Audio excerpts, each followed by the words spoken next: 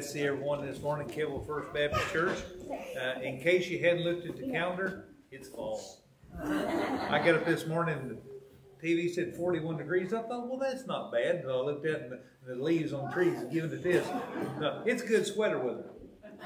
You know what else is good for? Soup. So we've got that pneumonia. Be positive, Larry. We've got your soup desire taken care of. Be back with us at 5 o'clock tonight for our Bible study. We're going to have soup and sandwiches afterwards. And I think we got taco, taco, chili, homemade homemade uh, chicken noodle, and vegetable. So, hey, whatever you like. Just come eat with us. We're going to have our Bible study 5. When that's over, we're going to have a bowl of soup and enjoy our fellowship. So we look forward to seeing you this evening. If you will, take, your uh, uh, bulletins this morning and let's look at those. Uh, WMU will meet this Friday at 2 p.m. Will they be here in the in the uh, fellowship hall? Okay, here in the fellowship hall, 2 p.m. this Friday. All right. Business meeting will be next Sunday evening. Does anyone have any other additions to our announcements this morning? Just take note that we have a new code for mile pennies. Mile of Pennies is growing. You might forget, you know, I prompt you for. There you go. Mile of Pennies is growing, so that, that goes for a, goes for an exceptional cause. I can be bossy, okay? Goes for an exceptional cause. All right. Let's look at our prayer list this morning. Do we have any additions or any updates to our prayer list?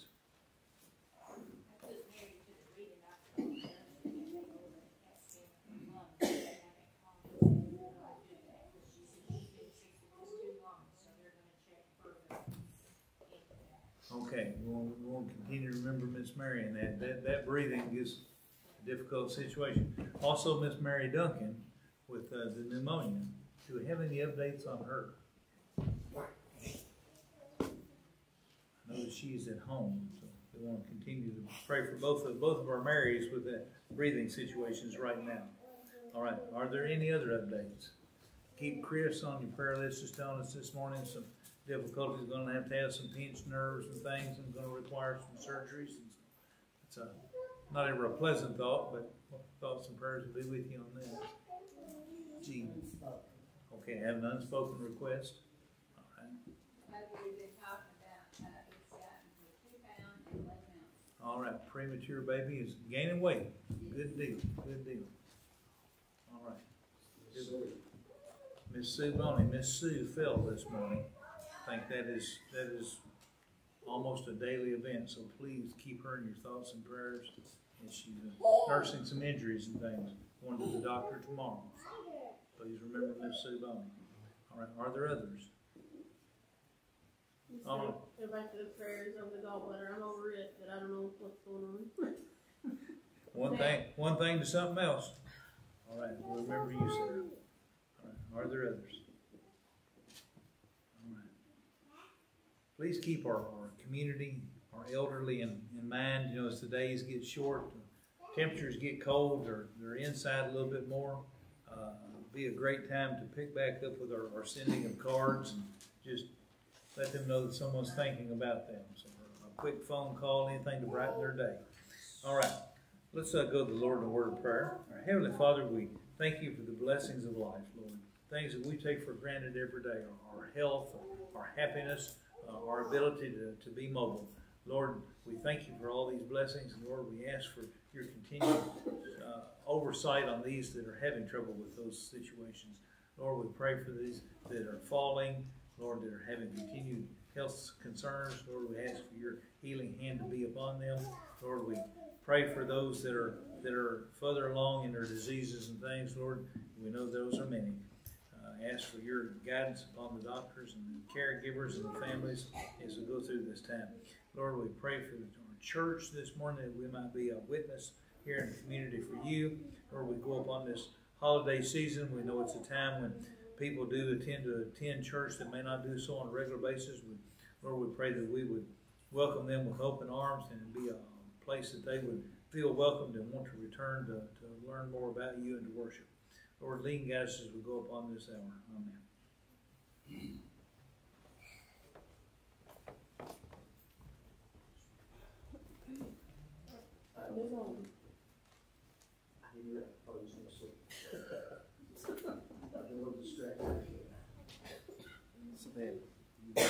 started looking around for the children's home, and he said, I ain't got nothing. So that's quick enough. If you would, as we join together in worship, would you take your hymnals and please turn to hymn number 172. We sing the first, second, and final stanzas. 172.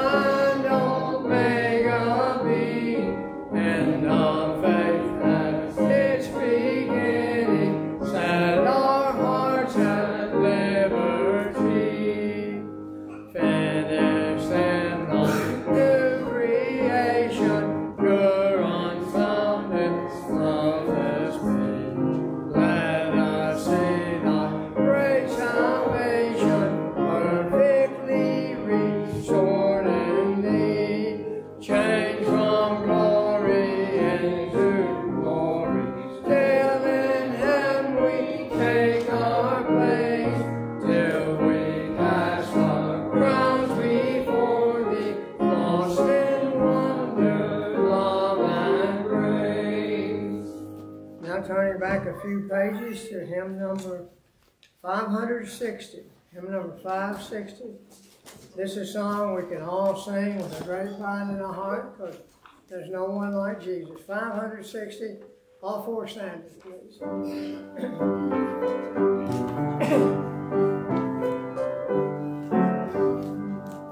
There is a name I love.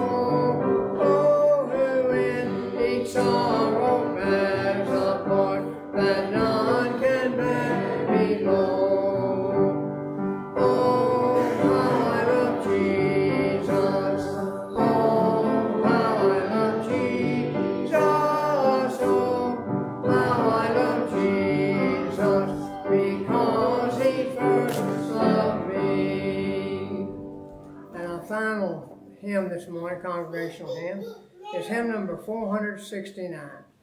469, we'll sing all three stanzas. Let's stand together as we sing. This may not be real favorite of yours, but it's a good hymn to sing.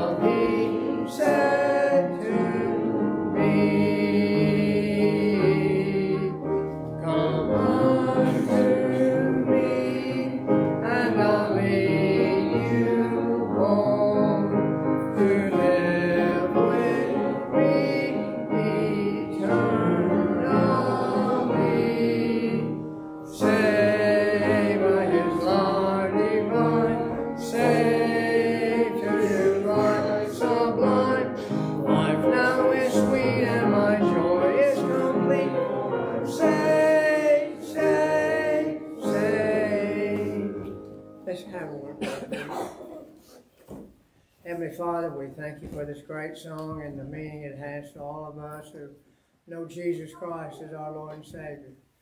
We thank you, dear Father, for the joy we have and and troubles may still come, Father, but we know there's an answer to every trouble we have, and that's through the, the love of Jesus Christ that we can make each and every day. Father, go with us, be with the ones on our prayer list, help them in their times of need, and help us all to minister to them if it be possible. Father, lead, and direct us when we fail you. In Jesus' name I pray. Amen.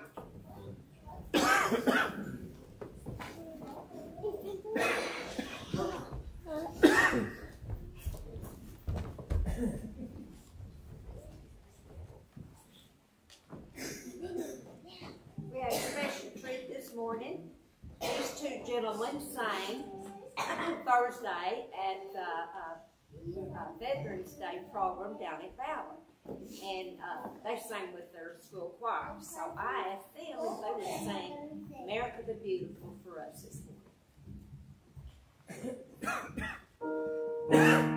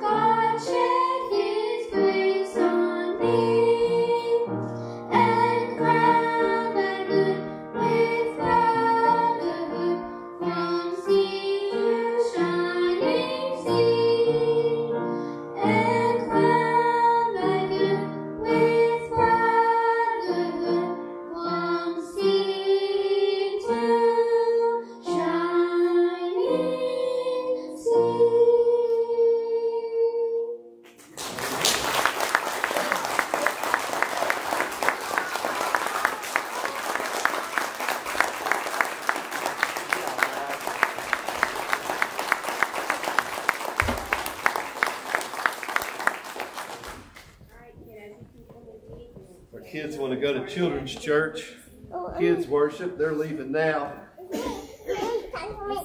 That way.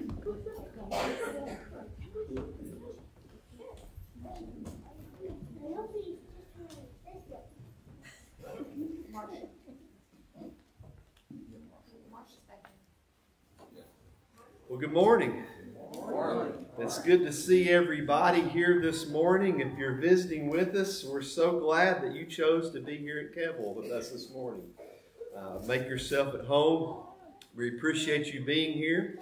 If you're watching online, we're glad that you joined us this morning as well. We can't leave off our online folks because uh, they uh, we have we have viewers from from many different places that tune in to our services, and we're thankful to have them as well. Well, this morning I'm continuing on. We started last week. We're looking at verses that are taken out of context. Uh, some of them are the actual verses, but some of them are these Christianese phrases that have made our way into our vocabulary that sound biblically, but they're not biblical at all. They, they, they sound kind of Christian-y, but, but they're not Christian at all. And so I'm kind of looking at those. And the one this morning, I don't know if, have you ever heard, don't judge me? Judge not, lest you be judged. Only God can judge me. Our, our culture cannot get enough of the judge not, that you be not judged verse. It, it, it's like you hear it everywhere. And those that mishandle this verse, they, handle it and they use it to keep others at bay. Don't judge me. You don't know me. Only God can judge me. It's my life. Jesus says not to judge. Saw a lady at Pizza Inn a couple weeks ago. That's what her t-shirt said. Only God can judge me in like letters this big. And I'm right. He's going to, and he is, lady. You can count on that. I don't know where you're at, but that's that's a true statement. But for many people using this verse out of context, they use it like a credit card that has an unlimited amount and it allows them to justify living as they please without any regard for moral boundaries or accountability. What they're saying in actuality is this everyone should be able to do whatever he or she wants to do, and no one should tell them that they can't. David Guzik says this Among those who seem to know nothing of the Bible, this is the verse that seems to be most popular. Yet most of the people who quote this verse don't understand what Jesus said. They seem to think or hope that Jesus commanded a universal acceptance of any lifestyle or teaching. The thing about this verse is it is mostly misused by lost people. I, have heard some Christians use this out of context before, but most of the time it's unbelievers. You, you see celebrities and, and, and, and, musicians and, and actors and actresses, and you see them quoting this a lot of time on TV. You know, that's, that's what they say. And here's the problem. Well, there, there's several problems with this, with lost people using Scripture. One, they don't know what they're talking about. Uh, second, lost people have no understanding of the Word of God. And, and third, they stop with the first verse because most likely that is all they know and they have no clue of the context. So this morning, let's dive in. If you have your Bible, if you would turn to Matthew's Gospel, Matthew chapter 7. Matthew 7, verses 1 through 6. This is Jesus speaking. He says, Judge not that you be not judged. For with the judgment you pronounce, you will be judged, and with the measure you use, it will be measured to you. Why do you see a speck that is in your brother's eye, but do not notice the log that is in your own eye? Or how can you say to your brother, Let me take the speck out of your eye, when there is the log in your own eye? You hypocrite, first take the log out of your own eye, and then you will see clearly to take the speck out of your brother's eye. Do not give dogs what is holy, and do not throw your pearls before pigs, lest they trample them underfoot and turn to attack you. Will you pray with me this morning? Heavenly Father, we thank you for this day. Father, we thank you for the, our Sunday school time, that we had time to fellowship and, and, and to dive into your word, Lord. And we, we just pray that, that something that is said here this morning, Father, will just touch our hearts and change it. Your word has that power and ability. And Father, I pray that Jesus Christ will be high and lifted up. He will be magnified, Father, today. We thank you for your love and for your grace and for your mercy. We thank you for your word, how precious it is. Father, if there's someone here this morning that is lost, that does not know you as their Savior, Lord, I pray this morning by the power of the Holy Spirit that will speak to their hearts and convict their souls. Lord, we love you and we praise you. It is in the precious name of Jesus I pray. Amen. These six verses I just read are part of Jesus' Sermon on the Mount. And to understand what this passage means, it must be interpreted within the framework of the context of the Sermon on the Mount. It's kind of like, we look at it like this. That, that's one, from Matthew chapter 5 to chapter 7 is one sermon. And to understand these six verses, it must be understood in the entire context of the Sermon on the Mount. Uh, it's like when you go back to the Ten Commandments, say, you know, the Ten Commandments in Exodus, one of the Ten Commandments is do not murder. You have to understand that in the context of the Ten Commandments in that passage of the Scripture. What that says is you are not to physically take the life of another person. Okay? And so uh, Leviticus, Numbers, and Deuteronomy, it kind of breaks that down more, you know, like for self-defense and different things like that. It talks about that. But in the Sermon on the Mount, Jesus says, you have heard that commandment of old, do not murder. But I tell you this, if you hate your brother in your heart, you have committed murder. So in the Sermon on the Mount, Jesus takes it to the, to a matter of the heart. Not the physical, he's saying the physical act is wrong, but I, I've taken it even further that if you hate somebody in your heart, you have murdered them and you've broken the commandment. So, so 1 through 6, we got to take it, it's, it's framed within the Sermon on the Mount. And that's how we have to understand the context. The, the context is key to all Scripture interpretation its original context in which it was taught. The Sermon on the Mount is all about what it means to live faithfully as a committed follower of Christ. Jesus is telling believers that they're to live differently. He, he's proclaiming a high moral standard that is consistent with what it means to be a citizen of the kingdom of God. And so he sets up a strong moral ethic that reflects what it means to love God with all your heart, your soul, and your mind, how you're to love your neighbor as yourself. And he spends a lot of time talking about the motives of the heart. What's in our heart? Because Jesus says, what's in our heart, that's what's manifested, it's what comes out. Now, there was another group that day listening to the Sermon on the Mount. Another group was in attendance that day, and Jesus was specifically speaking in their direction also. That group was the Pharisees. And he spoke on the motives of the heart. He was also rebuking their hypocrisy.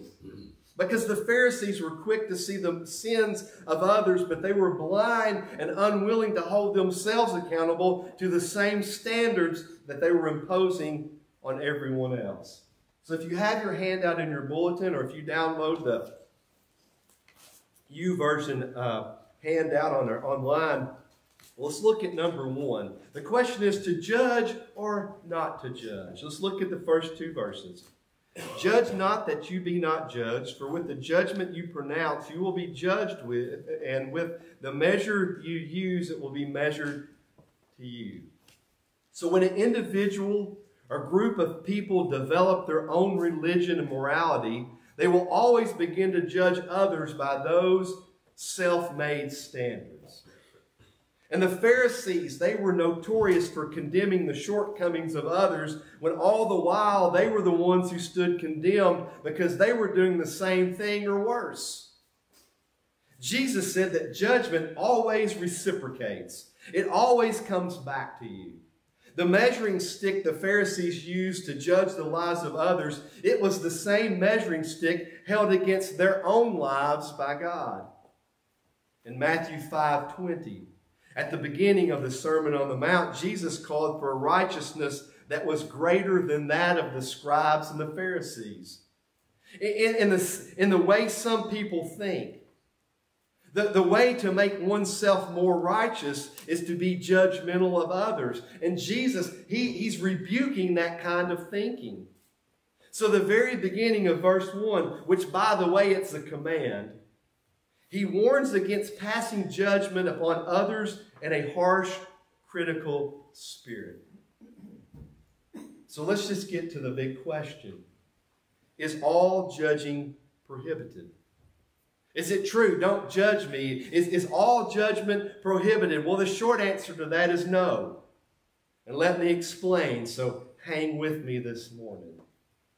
In order to answer this question, we must know the difference between self righteous, hypocritical judging and good moral judgments. There's a difference. Self righteous, hypocritical judging is sinful and is prohibited by the Scripture. Why? Because we are not God. And here's what verse 1 means Judge not that you be not judged by God. The point is that God is the ultimate judge, not you or me. And when we sinfully judge others, we take on the role of God, and we're assuming that we know all the facts and that we understand the other person's motives perfectly, and we don't. We can't. It's an impossibility. But verse 2 makes it clear that if we judge others with a high standard, then we should expect God to judge us in the same way. So we are prohibited from making self righteous, hypocritical judgments. But, but the other question is, but does this passage prohibit us from making good moral judgments? Which the answer to that is no, it does not. Can, can, can we not speak up against sin? Yes, we can. And there are many verses that encourage us to make good moral judgments. Matthew 7, 15 through 16.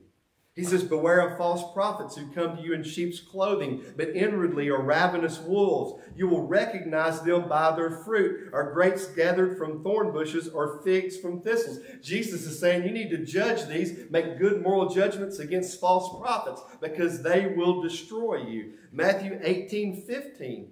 If your brother sins against you, go and tell him his fault between you and him alone. And if he listens to you, you have gain your brother. Galatians 6 1 Brothers, if anyone is caught in any transgression, you who are spiritual should restore him in a spirit of gentleness. Keep watch on yourself, lest you also be tempted. Romans 16 17 I appeal to you, brothers, to watch out for those who cause division and create obstacles contrary to the doctrine that you have been taught. Avoid them. John 7 24 Jesus was being criticized for his teaching. And, and, he says, Do not judge by appearances, but judge with right judgment. 1 Corinthians 5 1. But now I'm writing you not to associate with anyone who bears the name of brother if he is guilty of sexual immorality or greed, or is an idolater, reviler, drunkard, or swindler. Do not even eat with such a person.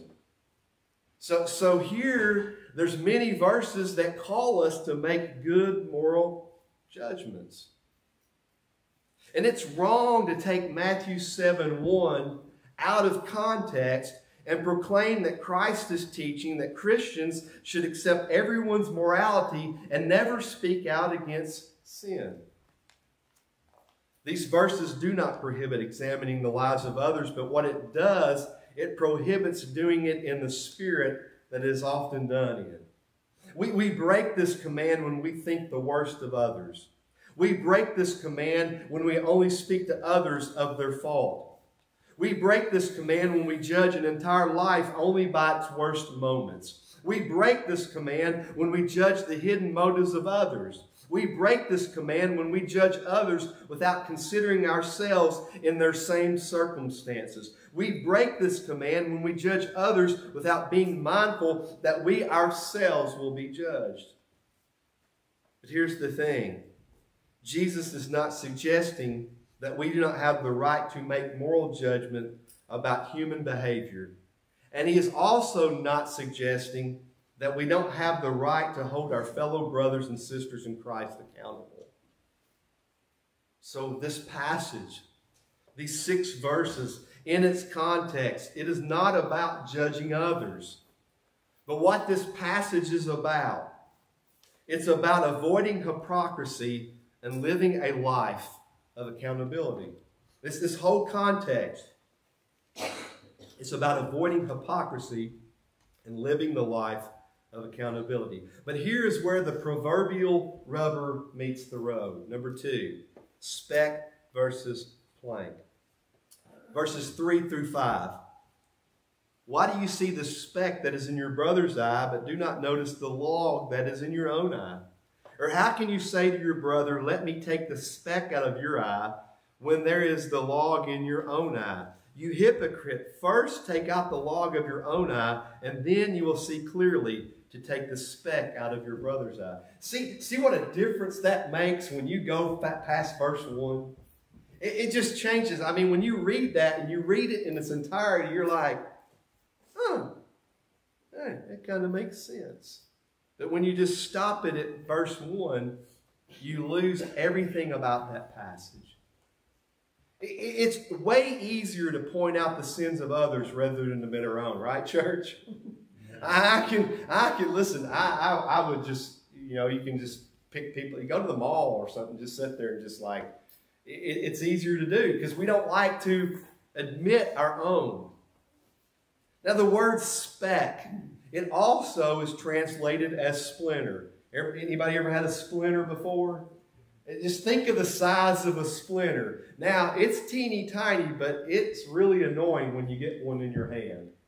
But just think about that. Sometimes you need a magnifying glass and, and tweezers and a needle to even see it to pick it out. The word plank, it's translated as log or beam. And a plank was a massive piece of timber used for supporting a roof. Eh, just kind of get that picture what Jesus, can you imagine somebody just with, with a beam coming out of their eyeball, right? Just just picture that. They're just like, you know. And so so but but think of the comparison, the splinter which is microscopic sometimes to a beam that's huge. You and I cannot approach a Christian brother or sister about their specific sin if we are committing the same sin and unwilling to address it or to break free from it. We can't. We must take a spiritual inventory of our own lives and clean up our own sins before we can address the sins of a brother or sister in Christ. Many have taken this metaphor to mean that Christians should never correct anyone. However, Jesus' point was this while we all have sin in our lives, we are responsible for dealing with our own sin first and then help others. You see, take the speck out of, let's see, uh, why do you see the speck that is in your brother's eye, but do not notice the log that is in your own? Or, or how can you say to your brother, Let me take the speck out of your eye when there is the log in your own eye? Verse 5, he says, You hypocrite. First, first thing you do, you take inventory of your own life. You repent of your sins. You clean your act up. Take the log out of your own eye, and then you will see clearly to take the speck out of your brother's eye. When you remove that big log out of your own eye, you have full vision because you've done spiritual inventory. You see, it's about being accountable to God and to each other. It's about being transparent. It's about iron sharpening iron. It's about doing life together so that we can grow spiritually. It's about allowing others to point out our blind spots without getting mad about it. It's about accepting the responsibility of our sins and confessing them and then repenting of them. And we don't like to talk about accountability because what we do is, one, we get mad if anybody says anything to us because you're meddling. And there's anger, but here's the thing accountability is biblical. I've only, I've had maybe three people in my entire life that have full permission to go anywhere they want to go with my life. They can ask me anything that they want. They can check on me at any time. And, and, and I, I, I, can't get mad. If I get mad, then, then, then I've, I've lied about I've, I've told them. I say, look, you, you have to hold me accountable. This is where I struggle. Ask me how I'm doing. And you got to be ready when they say, you know, they ask you. We need people like that in our lives. We don't like accountability because that means we open up our lives to others. We're often scared of what people will think or sadly what they may say in the form of gossip.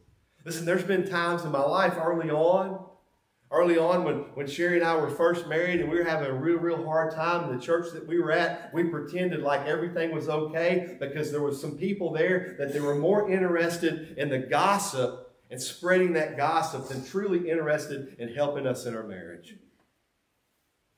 And that's sad, church. Because this is the one place that we should be able to come and say, you know what? I'm broken.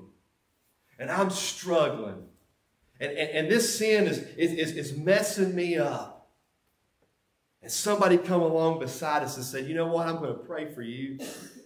I'm going to war. I'm going to battle for you. I'm going to keep checking on you. Instead of, instead of getting on the telephone or texting message and sending a group, can you believe what's happened to so-and-so? And, and here's what we often do. We disguise it in the form of a prayer request. Right? We do. I've seen it happen. Well, you need to pray for so-and-so. What's wrong?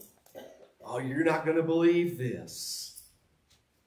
Listen, gossip's a sin, church. That's just straight up it is. Whether you text it, whether you do it on Facebook, whether whether we do it in person, it's a sin. Just like taking a gun, shooting somebody, it's a, it's murdering it's a sin.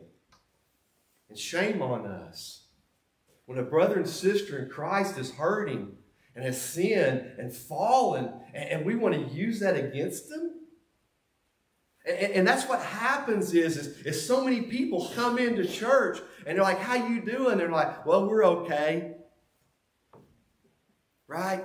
Fake smile, mask on, and on the inside they're devastated and they're crushed and they're broken because they're afraid of what people will say. Another problem is this. Something that we face is often our lives are in such disarray that when it comes to Jesus, that we're ineffective in helping others. We can't help others because our own lives are such a mess. We have no biblical right to correct anyone. Also, the person with the speck must be willing to have someone help them. Any restriction for them, that will make accountability impossible. This is what Proverbs 13, 18 says, Poverty and disgrace come to him who ignores instruction, but whoever heeds reproof is honored. See, that person that you go to, that person that you want to talk to, that person that you seek to restore, they, they got to be able to accept that. And, and when someone comes to us and, and we don't expect, this is what Proverbs says that, that it's a disgrace that honor ignores instruction. Proverbs 15, 32, whoever ignores instruction despises himself, but he who listens to reproof gains intelligence. Ecclesiastes 7 5 It is better for a man to hear the rebuke of the wise than to hear the song of fools. James 5 19 20 My brothers, if anyone among you wanders from the truth and someone brings him back, let him know that whoever brings back a sinner from his wandering will save the soul from death and will cover a multitude of sins. When accountability is mentioned, folks, they have a tendency to run and hide. We, we don't want other people in our business, but accountability, it's biblical. And biblical accountability, confronting sin in the life of a believer, is an attempt to restore a relationship with a brother or sister in Christ so that they may have a wonderful fellowship with God that is unhindered or uninterrupted by sin. See, it's all about reconciliation. Reconciliation is the heartbeat of the gospel. These two verses about the speck and the plank point to the gospel. It's about being reconciled with God. Our sins should break us. Our sins should drive us to our knees to repentance. And while we're here on this planet, we will never be perfect. But it's important that we live a life of consistency and integrity in order to safeguard the name of Christ, who we represent. We are ambassadors for Christ, 2 Corinthians 5.20. Learned that RAs when I was about this tall, right? We also have the reputation of Christ's church at stake too. We might not often think about that, but we should. We represent Christ. We represent His church. Have you ever heard somebody say, Well, I'm not going up to that church? Bunch of hypocrites up there. Do you know what so and so up there does? I've heard that before too. Before we can effectively help anyone, we must clean up ourselves. So, how do we take the log out of our own eye? We look to the cross. When we look to the cross and we see Jesus hanging there for us, we see what our sins really deserve. And we see how God sees our sin.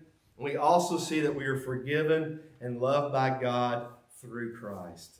You see, it is impossible for us to look at the cross and be self righteous and critical at the same time. You cannot look at the cross of Christ and be self righteous and critical at the same time.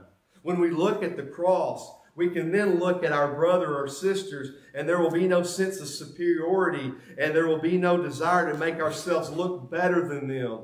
When we look to the cross, we see how destructive sin is. So we repent of our own sin. Then we put ourselves in a position to help other Christians repent of their sins because we don't want to see them destroyed by it.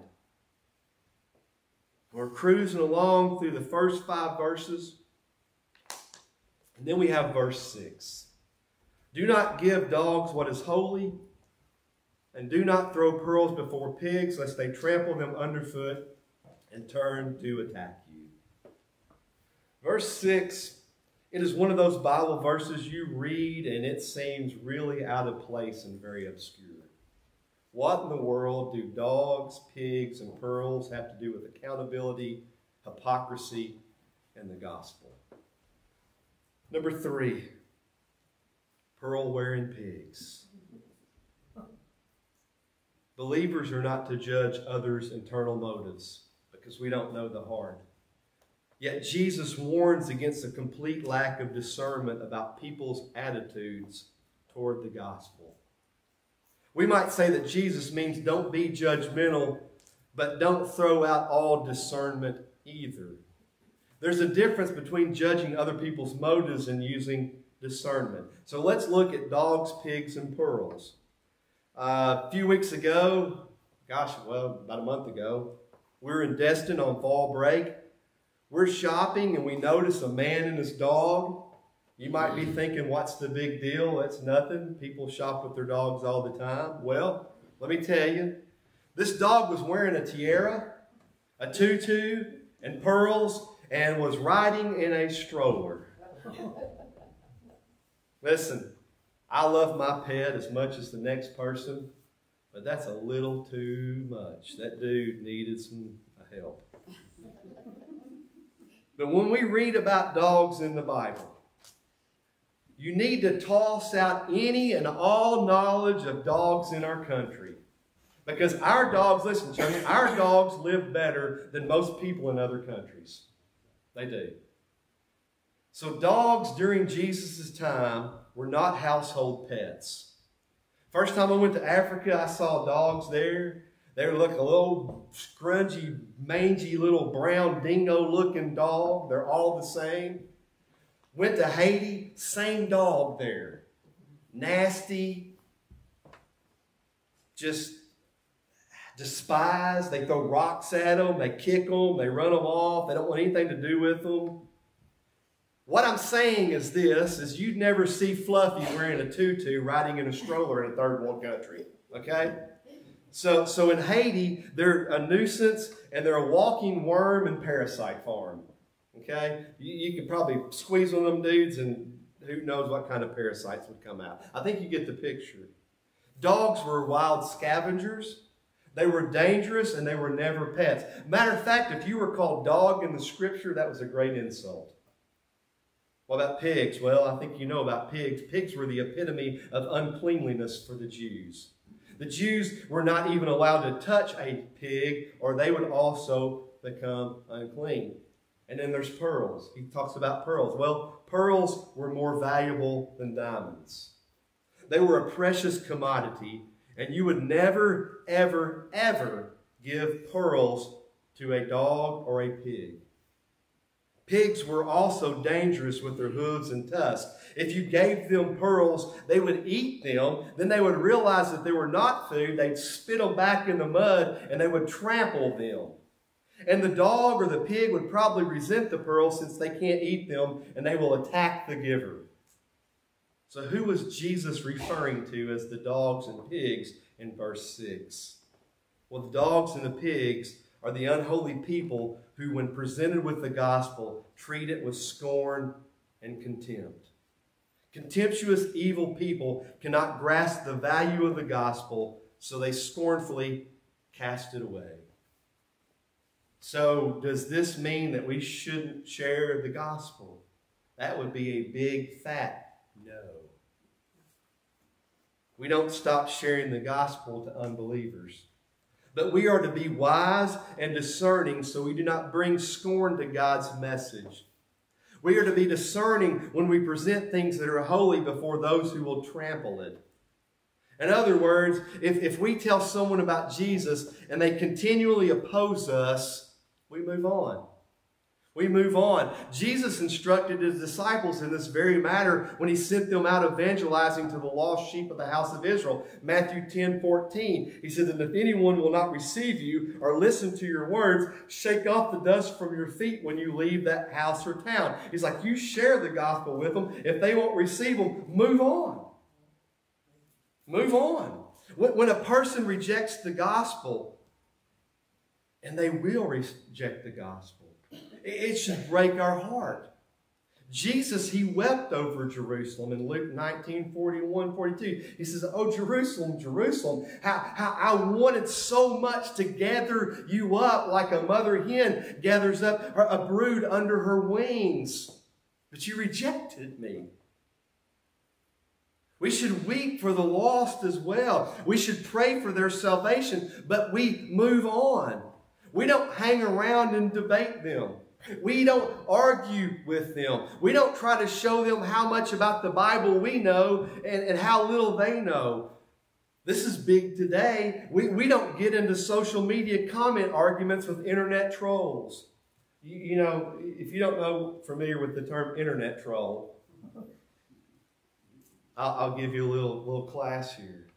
An internet troll is a person that just goes to whoever's comment sections. It doesn't matter who it is, what the conversation's about. They just go and they post some kind of hateful comment, and what they're doing is they're trolling you. What are they trolling? They want you to reply back. And it's kind of like they cast, they, they put that little comment out there and they sit there and they watch the bobber.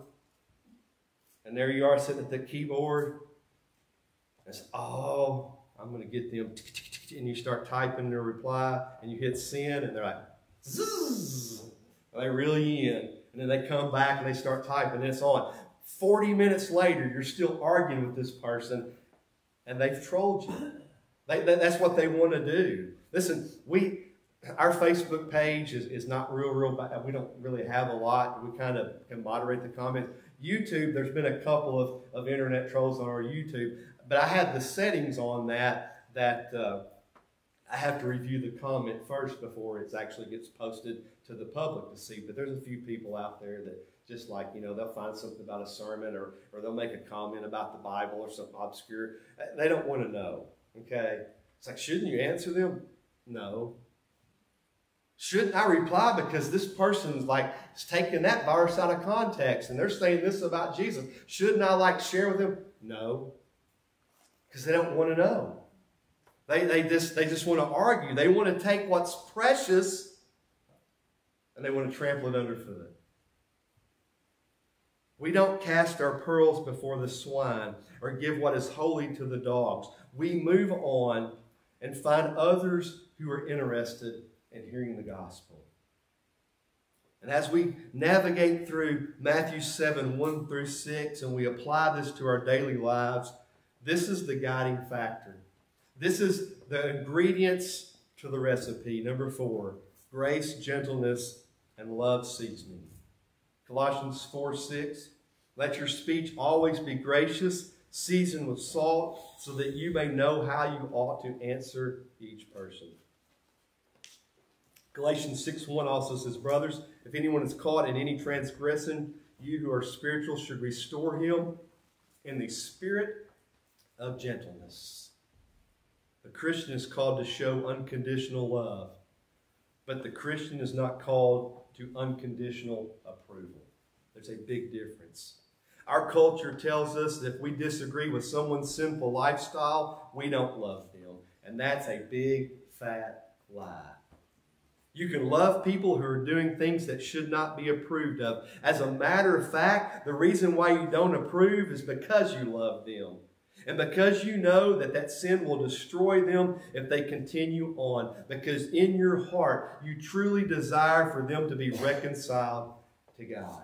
Listen, if I did if I did love someone, I would just say, you know what, you just go about doing what, yeah, you're right. You be you, man. You be you. I, I approve of that. That's what the culture says. Uh, you you got to approve of what I'm doing, even though it's wrong. You can't you can't say that it's wrong. You got to approve it because if you don't approve it, then you don't really love.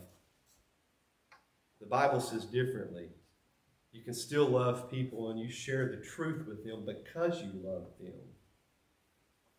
But there's a right way to approach them and there's a wrong way to approach them. That the wrong way is by exerting a self righteous, hateful, critical, judging attitude.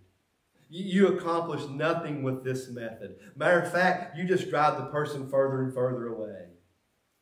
The right way is this is you smother it in prayer and love and always make sure it is seasoned in grace and gentleness. When we speak out against sin, when we confront a fellow believer, when we try to practice biblical accountability, it must always be seasoned with grace, gentleness, and love. And, and, and just using the recipe metaphor, I don't think you can put too much on it. I don't think, you know, I'm just going to do a little teaspoon, a little tablespoon, might use a cup. Listen, dump the whole container out on them. Dump the whole container out. It's all right. You won't ruin it. You won't ruin the recipe. Because the ultimate goal is restoration and reconciliation. That's the ultimate goal, church. That should be our heart. If we can just wrap all this up, kind of summarize it, Jesus does not forbid all moral judgment or accountability. He does forbid harsh, prideful, and hypocritical judgment that condemns others without first evaluating one's own spiritual condition. But here's the thing the misuse of do, misuse of do not judge, is just an indicator of a larger problem. It reveals how far the disciple of sound biblical study has slipped in recent years. And more than that, it sheds light on the state of our culture. It is a culture that seeks to avoid accountability and responsibility for personal actions. Our, our culture is all about let's blaming somebody else. Our culture is not about taking accountability. It's always somebody else's fault. But here's the thing it all points back to sin. Always. Sin is always at the heart of the matter. But here's the great news of the gospel of Jesus Christ there is a Savior who died for you and me. There is forgiveness for all sins, and there is restoration found in Jesus. If you would, if you would stand with me this morning as we have our time of invitation. This morning, I want you to.